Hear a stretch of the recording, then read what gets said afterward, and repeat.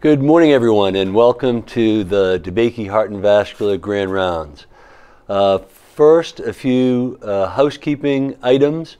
Uh, we uh, would like to have everybody participate and uh, join by web, and you can go to pollev.com, uh, enter DeBakey, and feel free to enter in questions for the speaker, or you can join by text. That's uh, text DeBakey to 37607 and uh, type in your message, and we'll have time for questions at the end. Today, it is really a, uh, an honor, it's a privilege, and, and, and more importantly, a pleasure to welcome uh, my good friend and all of our good friends, Vino Thourani. Uh, Vino is an international leader in not just cardiac surgery, but uh, cardiac disease. He is the Bernie Marcus Chair uh, in the Department of Cardiovascular Surgery and the director of the Marcus Valve Center and Structural Center of Excellence at Piedmont Heart Institute in Atlanta, Georgia.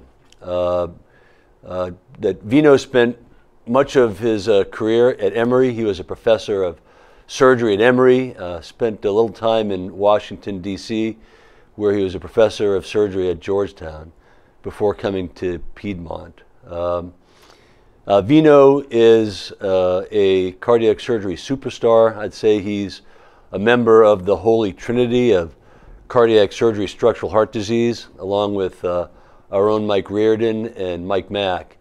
Uh, and Vino, the three of them together, have really made uh, a huge impact in structural heart disease from the surgical side of things. Uh, Vino, in addition to his work at Piedmont, holds an extraordinary number of leadership positions in, uh, in cardiac surgery and in, in cardiology. He's the current president of the Southern Thoracic Surgical Association. He's the president of the Heart Valve Society. He's the president elect of uh, the International Society of Minimally Invasive Cardiothoracic Surgery. He serves on the board of directors and the executive committee as the treasurer of the Society of Thoracic Surgery. Uh, he is uh, the co-chair of the STS uh, ACC TVT uh, database. He's authored uh, over 620 uh, peer-reviewed papers. In, in his spare time, he has an incredibly busy, incredibly successful cardiac surgery practice in Atlanta. So it's, it really is a distinct honor and a pleasure to welcome you, Vino. And today, Vino is going to talk about an appropriate title The Wild, Wild West The Current Management Strategies for Mitral and Tricuspid Valve Diseases.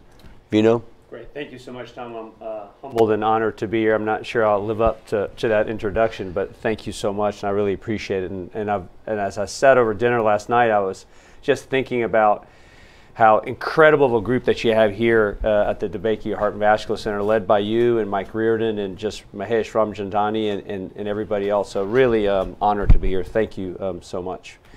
These are my disclosures. Um, I love research, and so um, that's a lot of the stuff that I uh, that I'll work on. I, I thought it would be just nice to show you a little bit about Atlanta and where we are at the Piedmont Heart Institute. This is our Atlanta campus. We're very similar to, to you guys in the sense that uh, we're also a um, network of hospitals. We're one of uh, this is one of 18 hospitals in Georgia. This is our newest tower. I know your your new tower is going to be coming up also. This is our um, tower for heart and vascular that we have by the philanthropy of Bernie Marcus. Um, on the front and back side of it, it'll be an addition to our campus and um, and very similar to, to the way the Methodist program is built. Uh, and this is just the front lobby of, of what they were able to do this just opened a year ago. So really a fun place to be. It's, I think it's just a spark of energy where we have. I, I always give credit to, to the team that, that works with me. This is my work family um, of cardiac surgeons uh, that we have um, at Piedmont. I'm just honored to be one of their partners. But really, uh, one of the things that I want to talk about is, you know, the treasures of our valve center are these two guys, and we'll have a third coming in September um, Pradeep and Vivek are absolutely um, the gems of the program. And I just come, my office is tucked in between the two of them. I'm not sure that's probably smart uh, of my part, but they flank me on either side and they are absolutely um, uh, true treasures. I, I, really couldn't do anything that I do without, without the two of these guys. We're not just a private practice program like you. We also do a lot of research trials. In fact, we're doing now 29 valve research trials um, that we're working on. So research is unbelievably important to us and is the crux of what we do. And we love to publish, and in the last three years have, have put together over 200 um, publications um, on valve disease. So um, I follow the lead of Mike Reardon and Mike Mack. I, am really not the trifecta with them. I'm the, their stepchild somehow together if they were to have a child. And so, um, really, are honored to be with those guys. I think it's important when people and leaders do something, they, they walk the walk and they talk the talk. And I think that's important for people who give these type of lectures to understand what we do. And I thought uh, Pradeep and I put this list together from 2021 so in the mitral tricuspid space, uh, just for that one year, we did about 95 mitral clips. We did seven patients in the repair MR trial. We do about 30, 35 mi- sapiens and mitrals. We did about, and these are the things that we'll talk about later in this presentation. We did 20 Tendyne transapical uh, mitral valve replacements that puts us high up in the roller. We just started the trial last February, so we were able to do 20 in the past, before we did Tendyne, and I'll talk about this technology coming up, we had done 22 transapical Intrepid, so a decent amount of volume that we really spend a lot of energy on. Pascal 2F and 2D were uh, have done 18 of those last year, and in High Life we did the first one in North America last year. That patient is doing well, and I'll show you some videos of that. And the Cephea will be the first in the U.S. Uh, to do that next Thursday uh, in the hybrid room. So it's really, we're, put, we're trying to push the envelope of walking the walk and talking the talk. In the tricuspid, we'll do about 30 TriClips last year, five patients in the Triluminate trial, which you're also a part of here. Probably the most exciting thing that I did last year was 20 tricuspid valve replacements, Tom, all through a needle stick. So it is uh, staggering to me that we can do that. Uh, we did one Compassion Intrepid TVR, not last year, but in the past and four trisols uh, have been submitted. So really pushing the envelope in one year of what we can do in transcatheter technology. Our topic today will be primary, secondary MR, and then tricuspid regurgitation. It is all because we believe heavily, just like you do here with Sachin and, and uh, Moritz and uh, Mike and others um, and Mahesh on the expanded heart team. I think this is important. We live it. Pradeep, Vivek, I, Jim Cowton see patients on Monday. We saw between the four of us, we see them at the same time together. Um, we saw about 45 patients in our valve clinic on Monday together amongst the four of us two surgeons, two cardiologists in the spa- same space with the same nurses at the same time. So we're really able to, I feel like, treat that heart patient very well. Because at the end of the day, we're trying to get the right procedure in the right patient at the right time for the right reason. We have to remember it's got to be the patient that's in the middle. Just stepping back now, we've talked a little bit about what we've done in the future. I think it's important to learn that, for, especially for the, uh, the residents and some of the medical students, you know, Vesalius really is the one who named this uh, uh, mitral valve, uh, named on the mitra, and you can see kind of the uh, the relationship of what it looks like for um, the Pope's hat and versus the mitral valve. And that's really where the origins were. Gaudi really was a big um, studier of Vesalius, and you can see that the Sagrada Familia that he uh, constructed and designed is very similar to the mitral valve. In fact, if you look the inside of a mitral valve and the inside of the Sagrada, Sagrada you can see the architecture is very similar towards that. And this was something that was going back in the early 1900s we owe, I'm a big believer in history, and we really owe a lot of people, and you, these are, um, you, you know some of these people, I've heard of some of these people, right, Tom? They were in your Northeast area for a long time. No, I didn't say that. I didn't, of course not born during that time period, but of course these are people that were, uh, that were ingrained in your education up in the Northeast. And I think we won't go through this slide, but what it shows you, I'll show you really on the fourth and fifth attempt, you have two mitral valve operations uh, scheduled in the same day in separate places. One 8 a.m. at the Philadelphia General Hospital, and the second one was at 2 p.m. across town in the Episcopal Hospital. Uh, fourth attempt, 30-year-old man died on uh, uh, also from asystole. He changed his suit, drove to the next hospital, and did the fifth case. It was a 24-year-old housewife with a rheumatic mitral valve disease. And Claire at that time could not care for her children. She could not draw a good breath and medication did nothing to help her. uh, Mrs. Ward's primary physician advised her not to have the operation, knowing that three of them, he didn't know about the fourth one, three of them before had all died. Dr. Bailey treated her MS with a hook knife.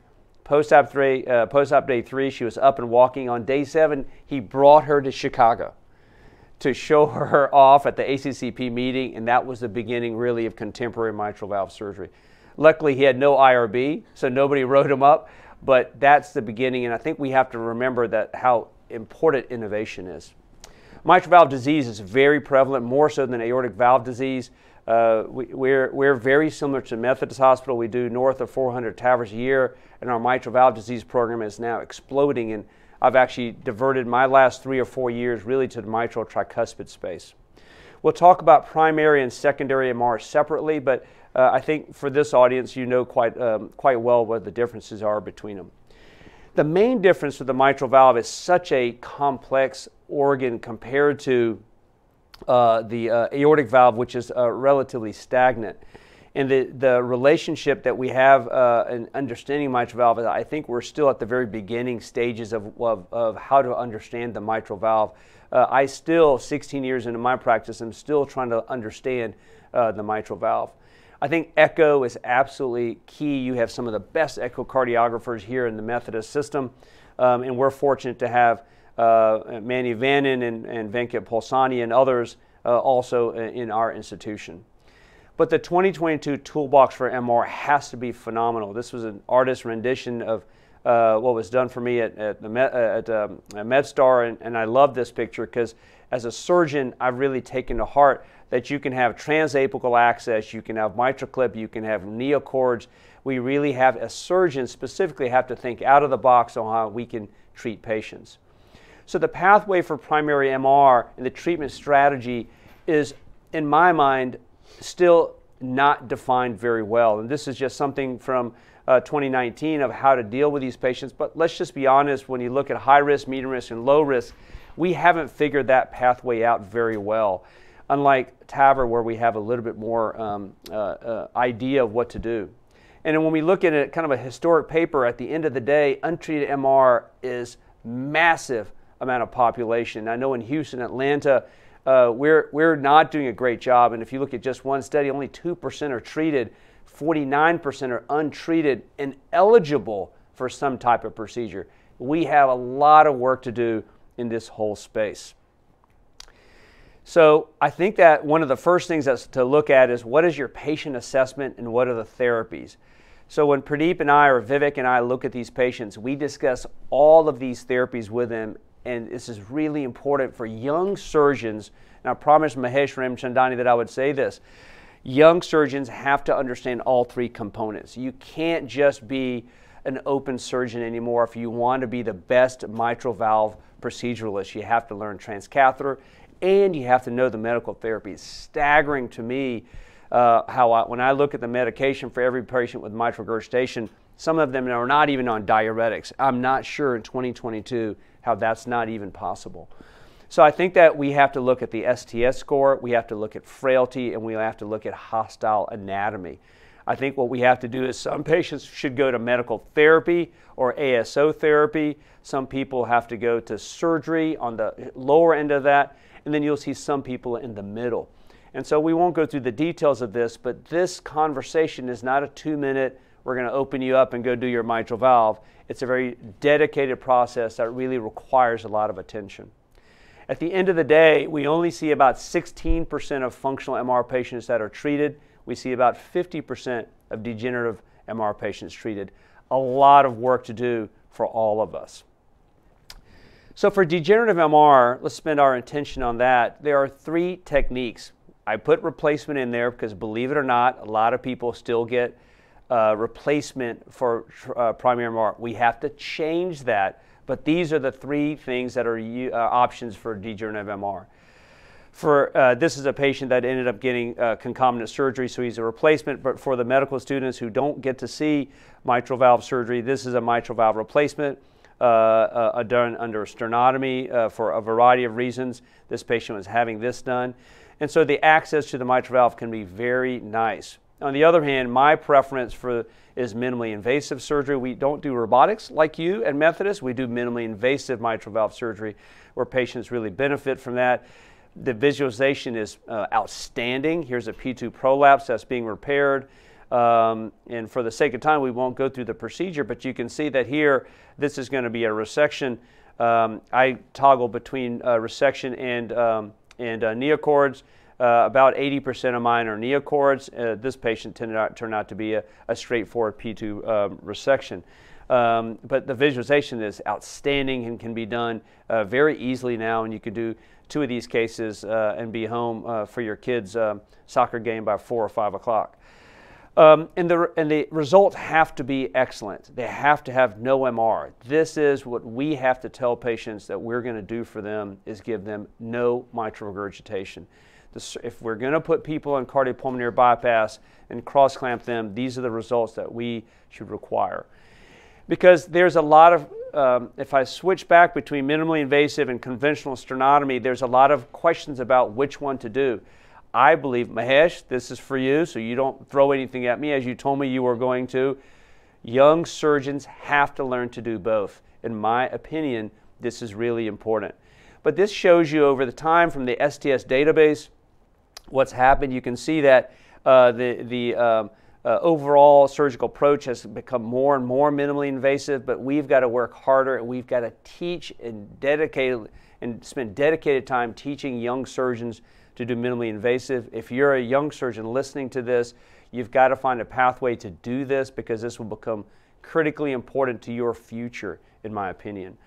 And the results are similar now, where before we saw minimally invasive patients doing worse with stroke rates. That's not the case anymore. We do non contrast CTs for these patients, make sure that we're not um, uh, increasing their stroke rate, and the results are now equivalent and, and the cross clamp times and their length of stays are better. So I think we have now perfected and will continue to, uh, to perfect minimally invasive uh, techniques, and this should be the mainstay of therapy for primary mitral regurgitation.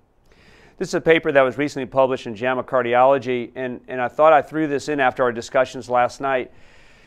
Um, your program, Tom, and our program do a lot of minimally invasive and mitral valve surgery, but that's not the case in the United States. I want you to look at the bottom statement here. The median annual hospital mitral valve volume is 26, two a, two a month. That's it. So we have to be careful in saying, oh, just it's okay, just go repair or replacement. We've got to figure out do we have a staggered program? Do we send these complex patients or a straightforward P2 prolapse to, to surgeons who are going to spend a lot of time or hospitals that are ready to, ready to do this because this is a problem. And when we look at volume outcome association, uh, a, a, beautiful paper by Vinay in 2020, also from the STS database, the bottom sentence is where I want you to concentrate on. The median surgeon mitral valve repair volume is five per year. Tom, that's staggering. So I think that we have to rethink how we're going to do mitral valve surgery in the United States. This is a really big issue. I think that we, you as the upcoming STS president and, and others uh, who do a lot of valve surgery need to think about how do we deal with this and making sure that patients aren't getting sternotomies and or replacement for primary mitral regurgitation. Let's go to something that's really a big passion of mine now is, uh, is non-surgical um, pathways for treating mitral regurgitation. There are two pathways, transapical and transeptal, and I'll show you both of those. The only FDA approved is uh, MitraClip uh, for mitral regurgitation. For those of you who haven't seen what this looks like, this is not a human being, but you can see what it looks like. This is what a clip uh, looks like when it's coming in at the A2, P2 area, and you're able to, while the heart's beating, you can see a, a mock uh, rupture of a cord you can see what you're able to do is come inside. Uh, this is what Sachin and, and Moritz and Mike are, are, doing. You're able to then, uh, here at this program, uh, you're able to close down, uh, create an Alfieri stitch, and, and perform a, a MitraClip. What does it look like in the United States? Mike Mack uh, recently published this from the uh, STS ACC TVT registry database. This, by the way, has never been presented nationally, um, and this is the most contemporary data that you'll see. I wanted to show you, before I show you what the TEER database looks like, I wanted to show you, Tom, what has happened in the TAVR space. This is my only slide on TAVR. The orange is the number of TAVRs done in 2020, 82,000. the number of surgical valve replacements, all surgical, AVR CABG, AVR mitral, anytime an aortic valve was operated on was 50,000. So you can see that crossover occurred in 2018. Let me now show you what is going on with mitral valves. This is a brand new slide. Here at Methodist, you're seeing it for one of the first times ever nationally presented. This is the top is we call it the mitral valve universe slide. Every mitral valve done in the United States is represented here. In last year, 20,000 times a mitral valve was intervened by a surgeon in the US. This, black, this line here that you see rising rather rapidly is now MitraClip. So MitraClip now is uh, getting, uh, there will be 14,000 in 2021 estimated. So you can see what's happened since 2014. So you are seeing an increase in transcatheter management, whether you like it or not, this is coming.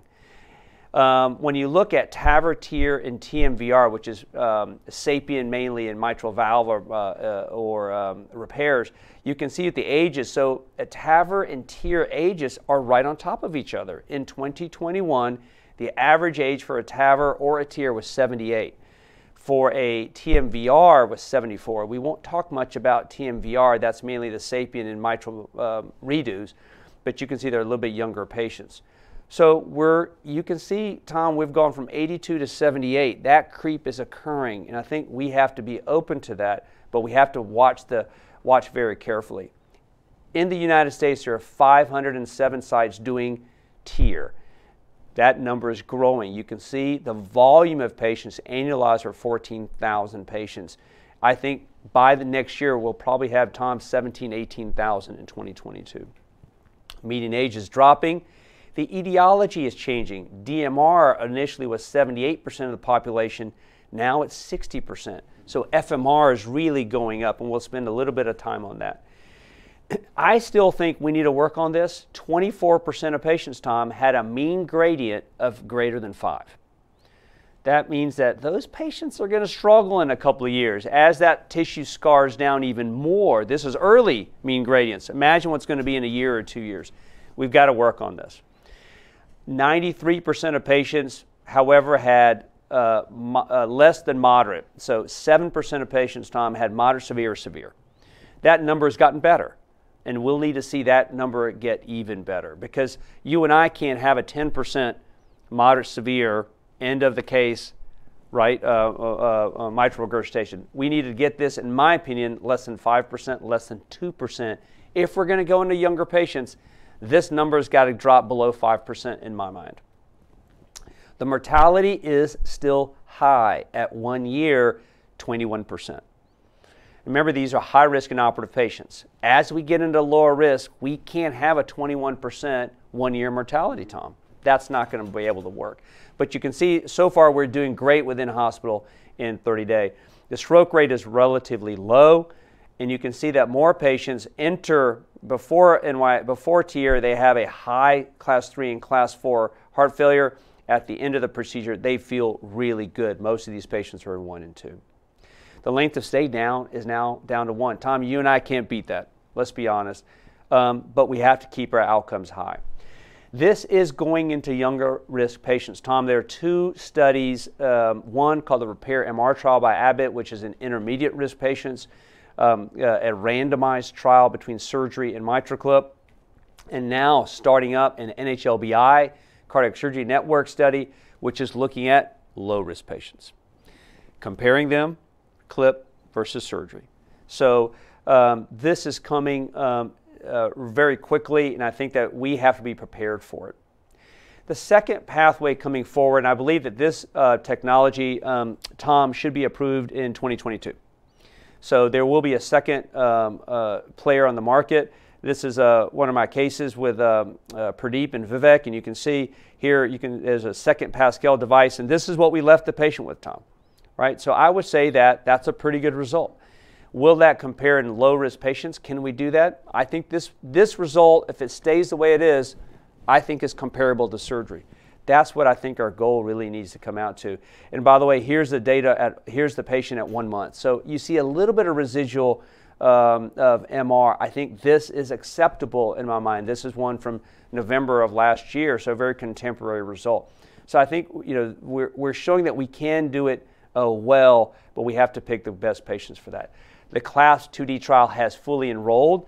And uh, Tom, I think that this will be able to um, have its results hopefully soon and will go through the FDA pathway. This is a technology that I'm super excited about. This does keep the surgeons involved. Um, this is a harpoon technology, and uh, I want to show you a case. So this is Fred Mila and myself um, uh, doing this case. This is transapical non-bypass. Um, this was just done about uh, a couple of months ago. We, uh, Fred and I were able to put a video together for this. Transapical, eight French sheath. We've uh, heparinized, and boom, here we are. And so you can see um, Fred is taking this uh, the shaft of the device, and we're putting it right up against the uh, beating heart under echo guidance, not in a hybrid room, regular OR. Fred, myself, and an echocardiographer, and we're able to do this while the heart's beating. And here you can see um, uh, as this video plays here, there is a pre-op echo, bad MR, right? I mean, even both of us are surgeons, but we'll say that this is bad MR. Uh, and here you can see what the results are. Here you can see um, the you can see appreciate right here four neocords we put in, and you can see the little dots there. Each one of those is a knot, and this is what we showed. Now we've we have now completed putting in uh, four or five cords and now we're going to tie this on the transapical uh, epicardial surface. Uh, I put a clamp there, and Fred's going to tie these cords down. And this is a result, Tom. I'd say that's pretty darn good. So I think that this is uh, here. You can see the cords uh, right here, and you can see. I would say I'm comfortable with calling this no MR, or maybe somebody uh, would call this trace, but I think this looks pretty good. Surgeons doing this, which uh, really great, great um, uh, results in my opinion. And this was from 2021. This was one of the first patients we did, N of one. And now I've done, I've seen this patient at six months. Um, the patient has no residual MR. So at six months, we're, we're very happy with the results. This, of course, we need to follow this. I'm fortunate to be leading this trial with Costas um, and also 40 other sites in the United States. So when I look at primary MR, and I look at a low risk or medium risk patient, this is our pathway in when Pradeep, Vivek, and I talk to the patients. If they're low to intermediate risk, we're saying we will try to put them into the Harpoon trial. I just showed you that technology. We're also going to think about primary trial for them, which is the randomized trial for CLIP versus uh, surgery. For us, research is paramount. So these are the first conversations we have. If they're medium risk patients, we'll look at them for the repair MR trial, uh, CLIP uh, versus surgery. If they don't fall into any of these three trials, then we'll then look at them for minimally invasive surgery. And then lastly, open, open surgery, mainly because they need concomitant procedures. That's our pathway for low and medium risk patients uh, for our heart team. When we now look at primary MR for high risk or inoperative patients, our first pathway was CLASP 2D trial. That's now done. So we will look at them for TMVR, um, the Summit, the Apollo, and a, and a litany of stuff, and I'll show you that stuff next. If they don't fit into these trials, we then will look at them for MitraClip.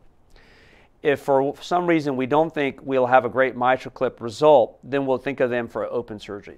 For these high risk or not, uh, patients, I put minimally invasive as a lower pathway for me. And the reason is I believe that in these patients, you need to be on and off bypass quickly and get out of there. And so minimally invasive for me, it's about a 30 to 40 minute longer bypass run. So I actually will go to open surgery in lieu of minimally invasive. That's just my own personal feeling for that. Let's now skip over to secondary MR. Again, uh, a euro intervention kind of pathway, and you'll be able to review this for those afterwards. There's a little bit more controversy on what to do with this, um, but you can see there's a pathway here for this also. Functional MR is very uh, tough thing to deal with. Tom, you know this, I know this. Um, it's a very difficult population. We've studied this in the NHLBI, um, and this is what we saw when we compared repair and replacement. In repair patients, very small series, but in repair patients, we saw a recurrence of mitral regurgitation in 60% of patients at two years. Replacement, we saw 3.8% recurrence. This is driven Uh, and here this is shown graphically. Um, you see death going up. You see uh, uh, with recurrent MR, death goes up. The line, I drew these lines because they're parallel. When you leave somebody with recurrent MR, they will die. And I think that this is something that we have to be very vigilant about. I don't mind whichever technique you use, repair or replacement. It's just you can't have them have recurrent MR. This is analogous to TAVR PVLs. You leave them with PVLs, they will die sooner. So whatever your technique is, we just have to make sure they don't have recurrent MR. If you're a surgeon that does a lot of repairs and you think you're going to do papillary muscle relocations and all the techniques, you just don't want to leave them with MR, and that's the important part. This is what we showed. This is a presentation I, I did at the STS years ago. This is what's happened since the trials, after the CTSN publication. More patients before the publication were repairing these patients, and now they're replacing these patients. I think surgeons need to be smart about what they do. Just don't leave them with MR.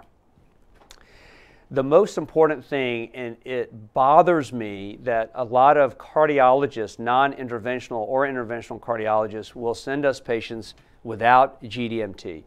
Functional MR patients um, must have GDMT, if, and that's the first thing I look at after talking to the patient about symptoms. I look at their medication list. And commonly, we'll see those patients back in four weeks, eight weeks, because they're not even on, on diuretics, they're not on the best uh, medication. We have to get better about that. It's really, really important. Surgeons, when you see these patients, please don't operate on these patients. I'll give you an, one example. I had a patient come to me from a second opinion from across town. The patient had been scheduled for a Bentall mitral valve replacement. EF was 15% time. Had already been put on the books. So they found me somewhere somehow from a, uh, a friend of theirs who lived across the street for them. I looked at the patient, a young guy. He's 55 years old and had been booked. Uh, by the way, he needed a cabbage too. So cabbage times two, a Bentall, mitral replacement, EF 15 to 20 percent. I sat the guy, he sat in front of me, and I looked at his meds, huffing and puffing. I looked at his meds. I said, um, you know, you've been, he said, yeah, I'm booked for surgery in four days. In fact, I've already done my pre op at that hospital. And I said, but you're not on a diuretic. And I said, you're about to have a big deal here because you need circ arrest. So circ arrest, Bentall, mitral valve, cabbage times two. I said, I have, how, how about this? How about you give me a month with you and then you can have your surgery? I sent him downstairs to heart failure. We started diuretics on him. Two months later, I, he was called an emergency operation. Two months later, I actually operated on him. His MR went completely away. So I did a Bentall cabbage time complete, completely away. So I repeated his echo at a month. I repeated his echo at two months, his MR. And so I said, and we put him on a bunch of drugs. His blood pressure, by the way, in the, uh, his blood pressure ran 160. So he had hypertensive on no medication. You can profoundly, the guy had a Bentall, that's all you needed, Bentall cabbage, and he went on. And so we have to do a better job at this. Of course, everybody knows the COAPT trial. I won't spend much time on this, all except to say that uh, the MitraClip uh, TEER is uh, beneficial in these patients in the right type of patients. If you do good pre and post GDMT, their all-cause mortality gets better compared to just GDMT alone. Their death and their heart failure hospitalization also improves. There is a CLASP 2F trial which is ongoing using the Pascal trial. I'm fortunate to uh, be um, uh, help running this with Brian Whisenant and Paul Grayburn, and uh, this trial is also enrolling. Where I'll spend some energy now, Tom, is mitral valve replacement. I think this is the future for um, uh, ischemic or functional mitral regurgitation. I have my most experience with the Tendyne valve. I think um, here you have most of your experience at this hospital with the Intrepid valve. So just to familiarize at least this audience with this, a Tendyne valve is done transapically. Um, I've now done about 30 of these in three different institutions. Um, and uh, what you're able to do is get, after you get apical access, you're able to deploy the valve. It has a suture that's, uh, as a pad, is uh, placed um, on the ventricular epicardium. Um, in fact, I have three of these that I'm scheduling in the month of May that have been already approved. And so this is a, a future technology. And here, Tom, I'm just showing a case that's been done.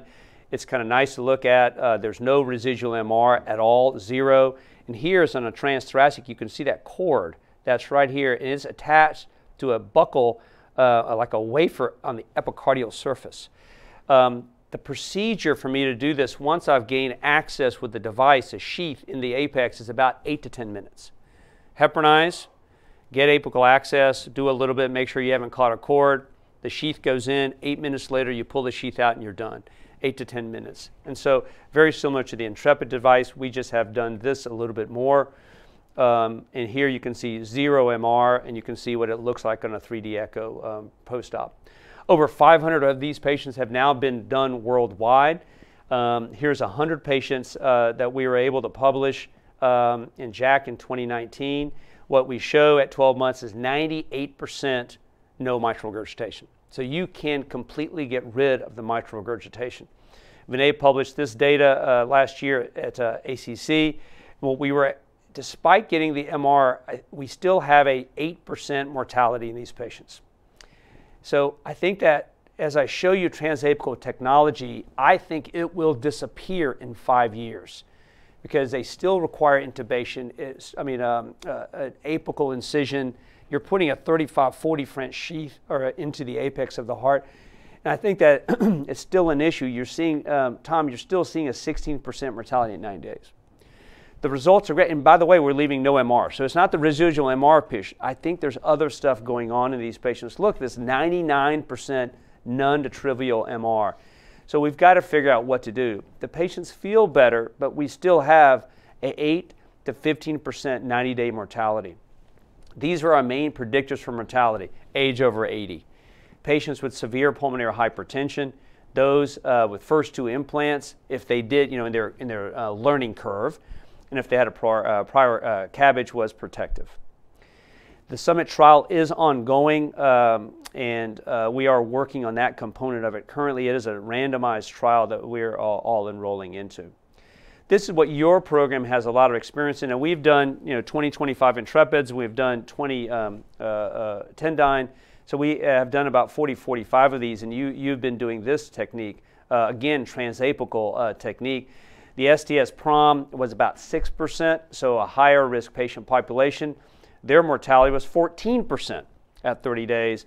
Uh, over 30 days, an additional 9.8%. So, uh, you know, we still need to figure out, yes, we're getting rid of the MR, but what's going on? And here you can see a 20% mortality at a year. Uh, um, we, we still haven't perfected uh, what's going on with this. And, and, take a look, and we have almost all these patients are less than mild MR. So we're getting rid of, uh, very nicely getting rid of the mitral regurgitation. This is a single arm treatment study for the Intrepid, and so that's kind of the pathway. A lot of these patients get screened out because of neo LV, uh, LVOT issues. Um, I think here you can see in the more uh, contemporary expansion, you can see that now they have a 2%, so we're making progress, but it's still something after 30 days we're seeing mortalities. We still need to perfect this procedure. This is, I think, what will be replacing transapical mitral valve replacement. This is a paper just came out in JACC Intervention. Um, and you know, Mike was a part of this. Mike Reardon was a part of this, where you're able to do transeptal femoral vein mitral valve. Here you can see none mitral regurgitation, and here you can see the NYJ classification is unbelievably better. So here now, Tom, we're starting to see some differences. Zero 30-day mortality, zero stroke rate. Now we're starting to make some difference, and I think this is the future transfemoral transeptal mitral valve replacement. I'll show you some cool cases now. Here is the M3. We just did one patient uh, for the M3. This is an Edwards uh, system where you uh, have a loading dock and then you come in and deploy a valve in. I did one of these cases not too long ago and I have a second one coming up in about two weeks. And here's what it looks like. You have a docking station and then you're able to put a sapien valve inside of this. I'm very happy with this valve. It took us about two hours and 20 minutes to do this. Femoral vein stick. Patient went home in a day. So this to me will make a difference. Um, just some data to show that it's done very well um, and the MR goes away. So I think this is something that we're going to be spending a lot more energy on. Here's another program called the EVOQUE. This is in early feasibility trials right now. Again, transeptal, you can see the sheath at the top right-hand uh, corner, and you're able to deploy the valve uh, transfemorally uh, through the femoral vein. And this is a, just a, another beautiful program. It's like the um, transeptal um, uh, EVOQUE uh, that I or transfemoral Intrepid that I showed you. This is the initial results with that. Again, great resolution of mitral regurgitation. Look at the death rate, one. So I think we're starting to now make some heavy progress into this. We did the first one of these in North America recently, um, uh, uh, uh four or five months ago in 2021. What this does, Tom, you come up the femoral artery, you're able to come across the aortic valve, you're able to create a lasso around the mitral valve apparatus and then what you're able to do once you've done that is now you've created a docking port and then you come transeptal with the mitral valve and, and completely deploy your valve. We have four more patients submitted to this, so hopefully we'll have another one um, coming up soon. Um, after uh, here, you can see the docking station is being implanted uh, into this, uh, and then you come in transeptal uh, to do the procedure uh, quite uh, simply. So that's, that's the next pathway, I think. I'll just skip that. Here you can see our patient um, that uh, Pradeep and I and Vivek, the three of us, are doing this procedure here. Here we've completed a transfemoral. It took us two hours to do the procedure. Patient went home, is doing great four months later.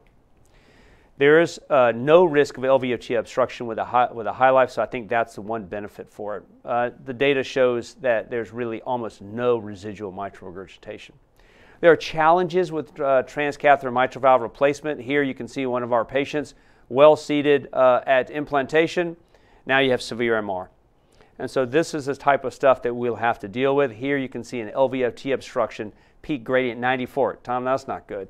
So here's a valve that's been deployed and now severe LVOT obstruction.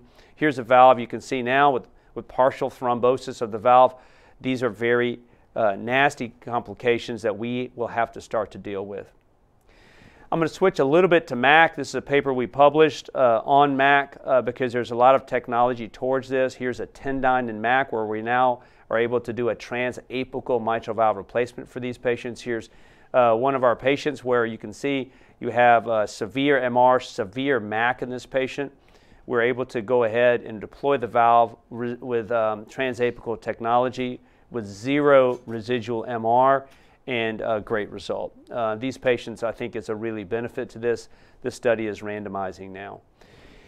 Some patients we do, this is for the um, cardiologist mainly. You can see this is what a mitral valve, a severe MAC is, and we're able to directly put a sapien valve into these patients. This is called, we call the hybrid sapien.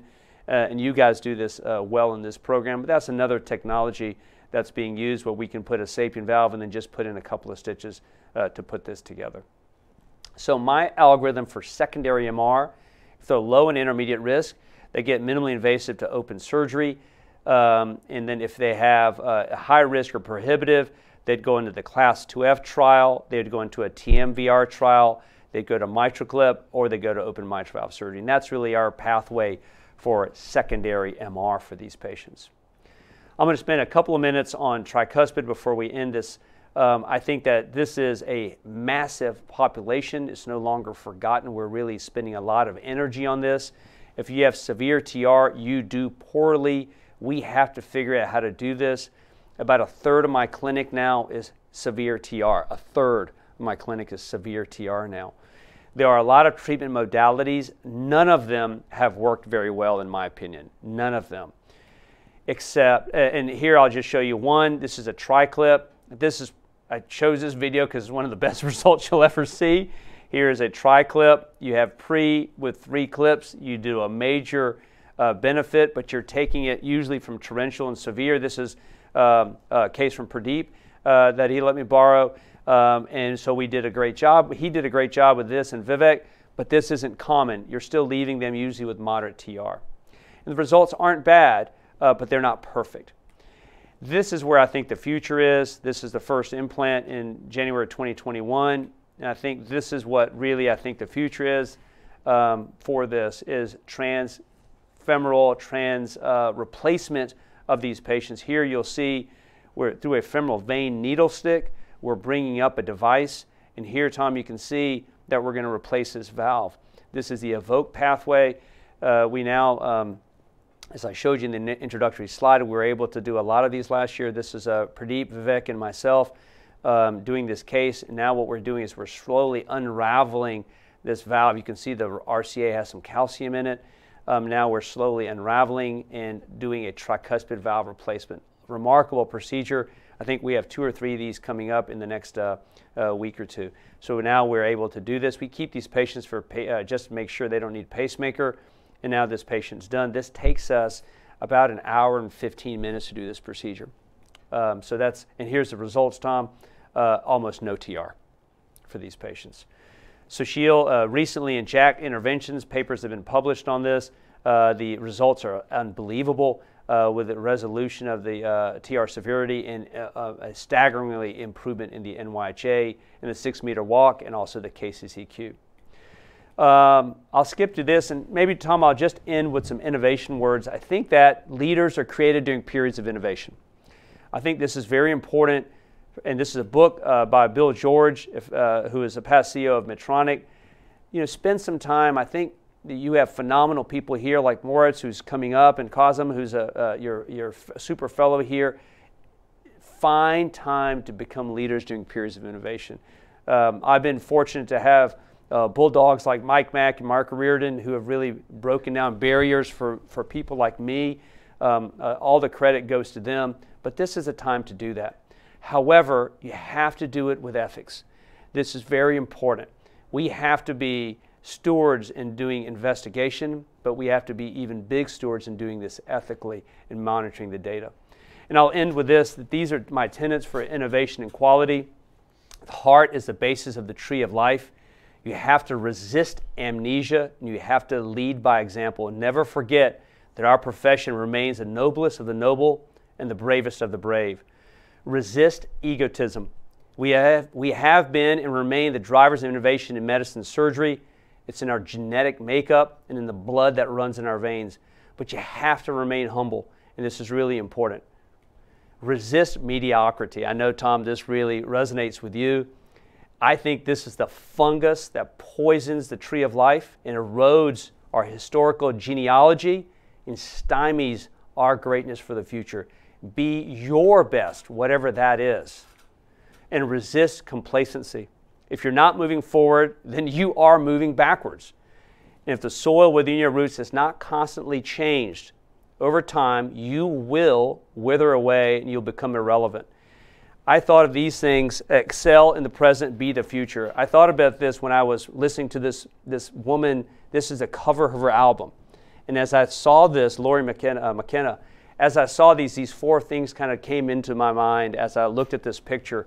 Um, and I just wanted to, to just um, uh, share that with you. So, innovations in the management of mitral and tricuspid disease are increasing dramatically. Trials are under, underway from extreme risk to low risk. And although these technologies are progressing slower than TAVR, there has been significant progress in the last one to two years and maybe significant, I believe, portion of mitral tricuspid therapies in the next five years will be done this way. So, Tom, once again, I'm humbled. I'm honored um, to be uh, here with you and, and, and, the team at the Methodist, and I really appreciate the opportunity. Well, Vino, uh, Thank you so much for a spectacular talk. I would say that uh, the title of it should be changed rather than the Wild Wild West. I would say it should be the wild, wonderful ways of taking care of patients. I mean, it, it really, you have shown us the toolbox that exists for helping us uh, get patients better. Uh, I have several questions for you, and I would love to get those of you who are watching uh, I'd like to get your uh, thoughts and questions uh, for Vino. Uh, but while we're waiting for those, so Vino, I know that you're passionate about the multidisciplinary team. Right. And, and uh, as I look around the country, the programs and the people who have been really successful are those who have mastered the multidisciplinary team. Right. You know, we've learned these lessons from transplant. That's right.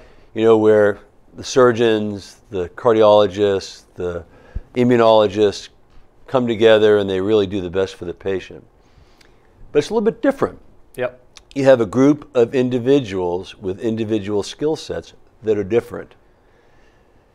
You know, 20 years ago, a surgeon did surgery. Right. Cardiologist did intervention.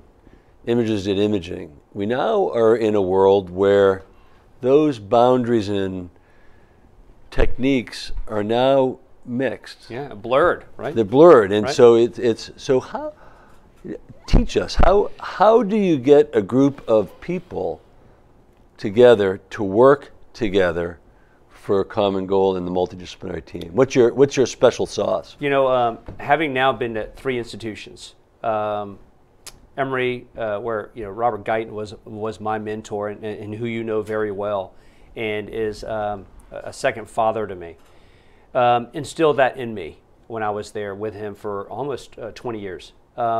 But we didn't do it perfectly well because we had a lot of different. We weren't able to.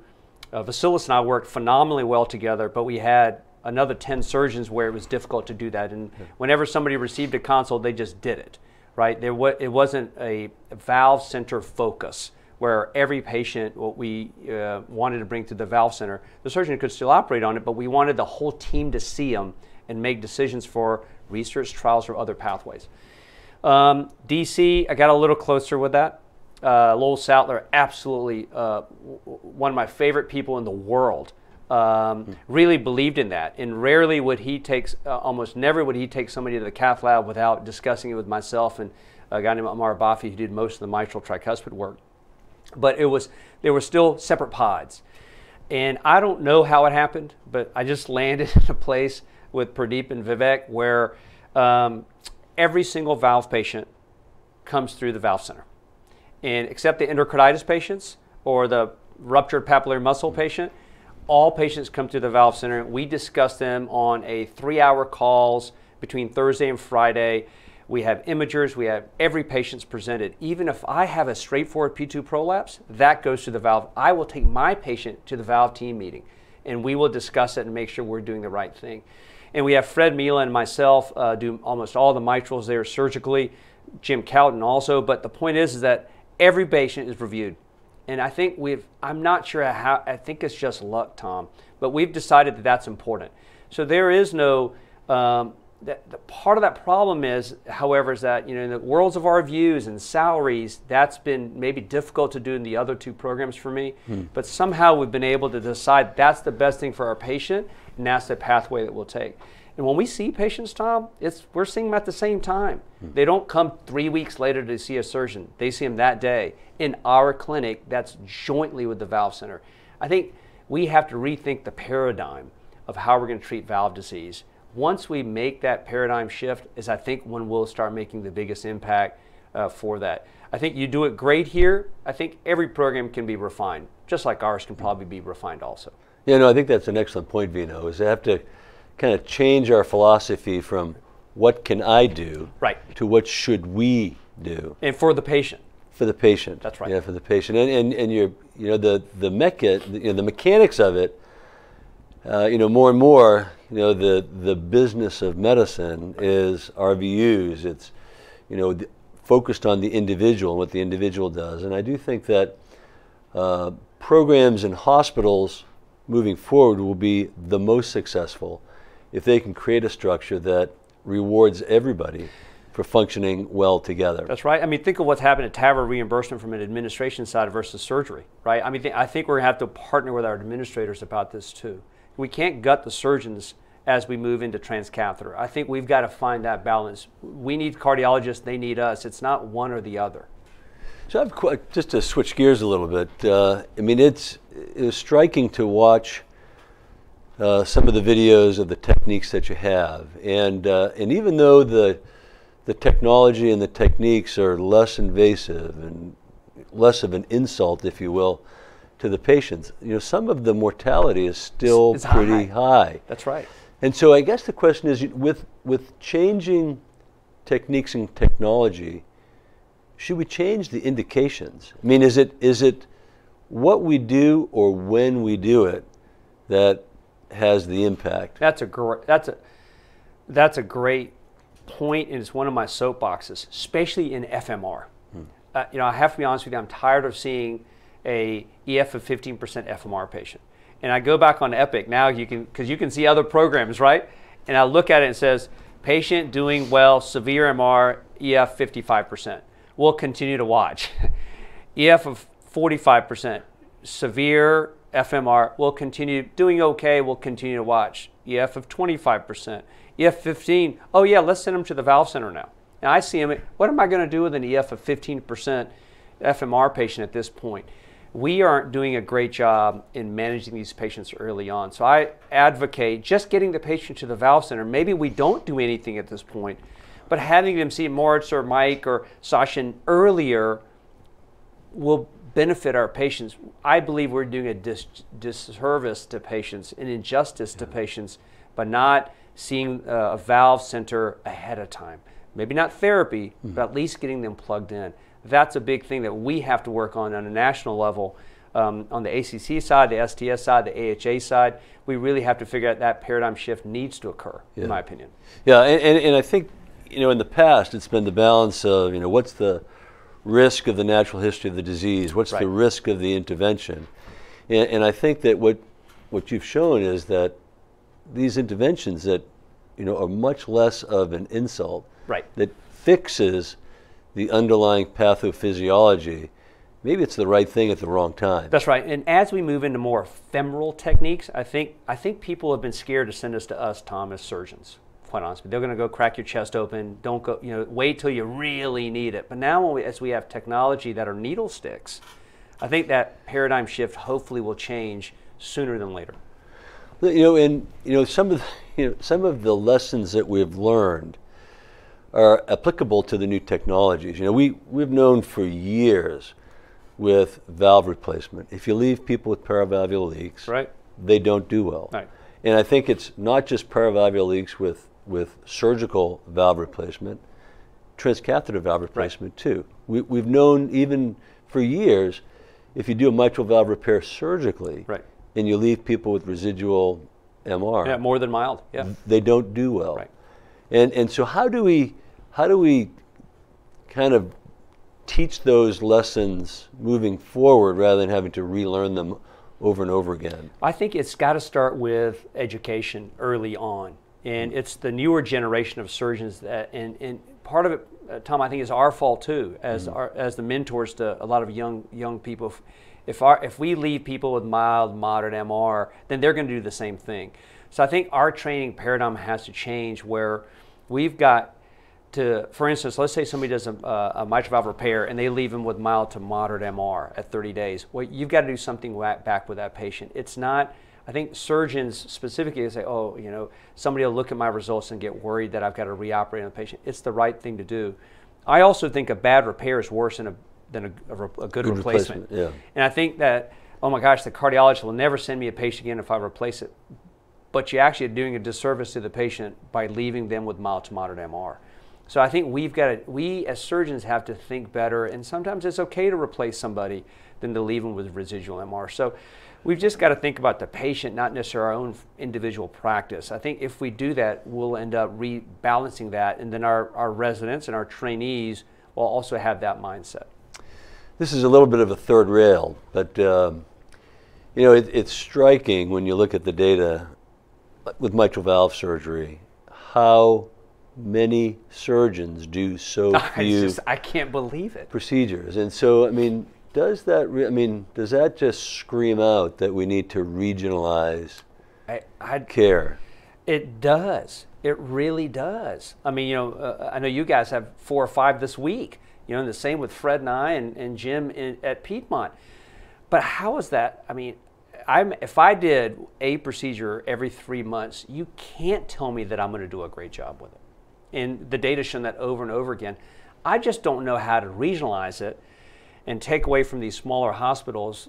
I don't know. I don't know if that's on a on a, on a governmental level, insurance level, societies um, level. I think everybody's been so nervous in cracking into that, but somewhere we're going to have to make that change to regionalized care, in my opinion. Yeah, but I, but but I, you know, at least in my thought, in my opinion about this, isn't about taking patients away from their doctors. Right it's partnering with them. It's it's right. coming up with a process that you know the multi the expanded heart team becomes geographically expanded because you know patients you know patients don't want to fly no. from Montana to Maryland. That's right. You know, they don't want to go from They don't want to drive two hours. they don't want to drive two Yeah, hours, and they, right. and they and they want to be cared for by by the people Local. who that are local. especially with a family. And look, you you live in a metropolis here in Houston, just like Atlanta. We're in the heart of uh, uh, Piedmont's in the heart of Atlanta. You're in the heart of Houston. It, it, just to drive from the perimeter of Houston inside is an hour and a half drive. Same with us. And so, um, but we've got to figure this out because doing five procedures a year, I'm not sure is the right thing to do. And I guess last question because we're running out of time. This has been Yeah. great. You know, it's uh, for all of the the medical folks listening out there. I mean, I think Vino, you gave a really a great shout out to the merits of medical therapy, and and I think it's very easy as an interventionalist, as a surgeon, to think that the only solution is when we do some kind of intervention. Right. But I but I think that- that some of the studies that you showed, certainly the ischemia trial has Right. shown That's that right. medical therapy is effective, and it's not one or the other. It's it's the melding them together. It's adjunctive therapy. It's adjunctive therapy. But it starts there, though. And just like the example of the Bentall cabbage mitral valve, I mean, I converted someone with high risk surgery to a easier risk surgery. The guy did great. And I think we've got to be careful in just diving in with a knife. I think we have to be more thought provoking on this. Well, Vino, once again, thank you very much. And I would really like to thank all of you who have been watching uh, and listening uh, at home. This has been a great Grand Rounds.